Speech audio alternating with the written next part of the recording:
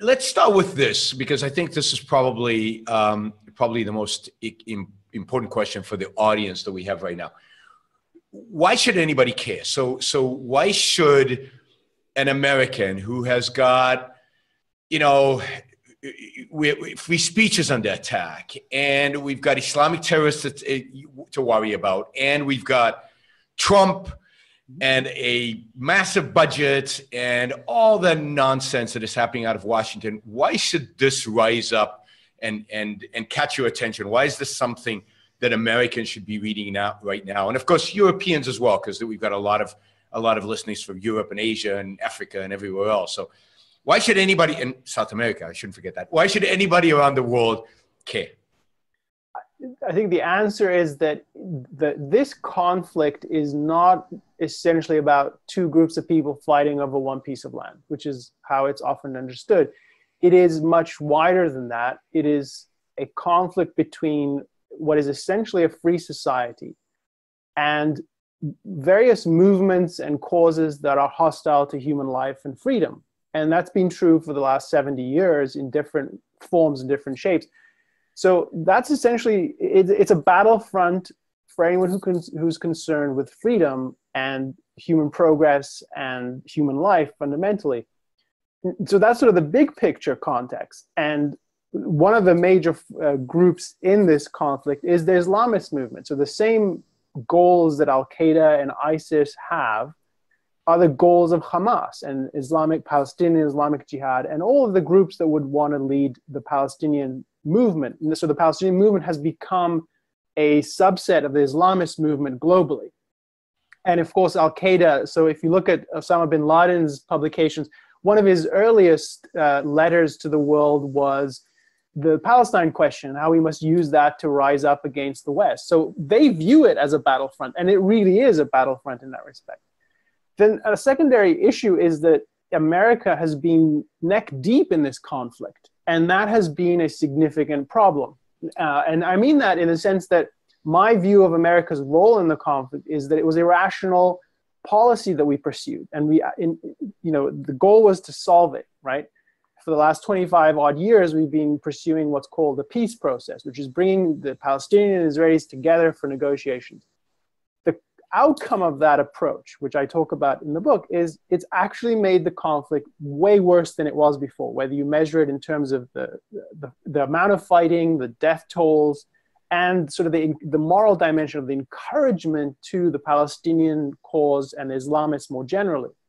So America has created, has been involved in this conflict in a deep way. It's made our Middle East, situ- our interest in the Middle East much uh, sort of more imperiled and then sort of if you want to zoom out and look at the Middle East in general, a lot of people in the foreign policy establishment or sort of the, the people who work in this field have a view that the conflict is central to the whole region's upheavals. And now yeah, that's a peace on earth if not for the israeli-palestinian conflict yes. Right. Now that view is much less credible these days if you've paid attention to syria or if you've paid attention to egypt because you know the, the, Syrian uprising that became a civil war had very zero to do with Israel Palestine, and the Egyptian Arab Spring had nothing to do with Israel Palestine. But that view that the conflict, well, the war in Yemen, and right. and the, the, you know the civil war 20, 30 years ago in Algeria, and the conflict in Morocco, and, you know it just goes on and on and on. The idea is so ludicrous; it's never had any currency. I mean, it, it, well, it, it it's never been plausible, I think, if you understand it, but it has the, the problem is that it has currency. That's right. That's um, right. In the sense that it's animated American policy. And so it's given the conflict a kind of, um, uh, but I do think it's important to the region. So if you want to understand the region, you have to understand that the rise of Islamists is integral to this conflict. The, yeah. the conflict is not separable from that and how American policy has approached this conflict has had an impact on the Islamists. To give you one sort of concrete, um, the, uh, the, the Bush years, George W. Bush. So he's seen as the most pro-Israel president in recent memory. Maybe Trump is going to eclipse him in some people's minds because of the things he's done over Jerusalem as the capital. But for a long time, Bush has been the most pro-Israel president. Bush, as you, I mean, you know this, but I think the audience needs to hear that Bush's policy of bringing elections to the Middle East impacted the Israeli Palestinian conflict by putting the Islamist resistance movement, known as Hamas to most people, in power basically in Gaza and supercharged them in a way that led to several wars in this conflict. So there's many dimensions to the way in which America has interest in the region from the perspective of writing on Bush. Can I add to that? Go ahead. because you know my favorite topic, other than going after Trump, I think, but but going after Bush is not only did he promote democracy and bring about Hamas, and ultimately I think led to the Arab Spring and all the negative consequences that have come from that, but I think, but also he he prevented Israel from being tough. Mm-hmm. So he weakened Israel. And I remember at least two, maybe three situations in which, in those days, Arik Sharon, who was, you know, relative to Israeli prime ministers, was sometimes tough, surrounded Yasser Arafat's compound. And, and, and you could imagine him wanting to kill Arafat. And you could, could imagine that going through Arik Sharon's mind and him getting phone calls from Bush saying, You can't touch him. You cannot do it and and what what message is that sent to the world? At the same time as we're supposedly fighting terrorism at the same time as he post 9-11 and all of that the weakness that that projects to the world. And and, and this from the most israeli friendly president supposedly ever. So just to flesh out your, your account so this happened in 2002 and there literally was a phone call. Don't touch him. If you touch him, you're in trouble. So this is 2002, before the rise of Hamas. And what's relevant is what people might not realize is 2002 was the the ramping up of a um, terrorist war within Israel led by Arafat. And we do, we have documentation. This isn't a it was out of his control. This was he's directing it, and he was he had a shipment of ammunition, like 80 tons of ammunition that was um, uh, intercepted heading to so he was waging a war. And here's president bush saying you know here are the handcuffs put them on yourself and don't take any further action against this guy who is sort of if you want a counterpart he was sort of the bin laden within this conflict. You know if america was facing a bin laden and his jihadists broadly.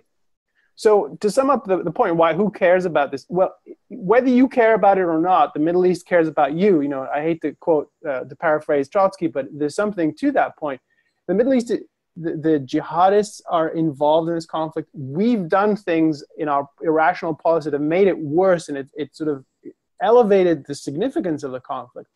But then, if you, what's distinctive to, I think, what our context brings is if you really care about freedom and human life and progress, independent of the conflict, there's one country in that region that deserves your attention, which is there's things to learn about it. So here's Israel, and there's a lot of faults and flaws to it, and I talk about those in the book. But there's one thing that I think is important government is a necessary good.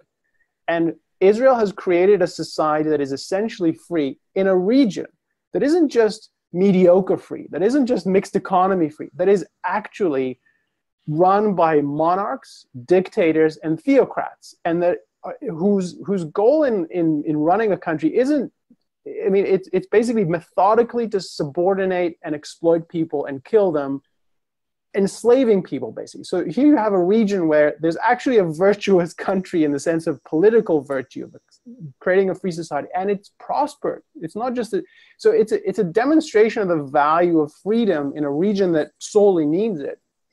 And you know, American presidents have spoken for a century about we stand with those who stand for freedom, but they don't and here's an opportunity that calls out for using freedom as the principle. So this is part of what the book argues. This is the framework to use to guide you. Who's who's really stands with freedom, regardless of their race, regardless of their ethnicity, regardless of all those things.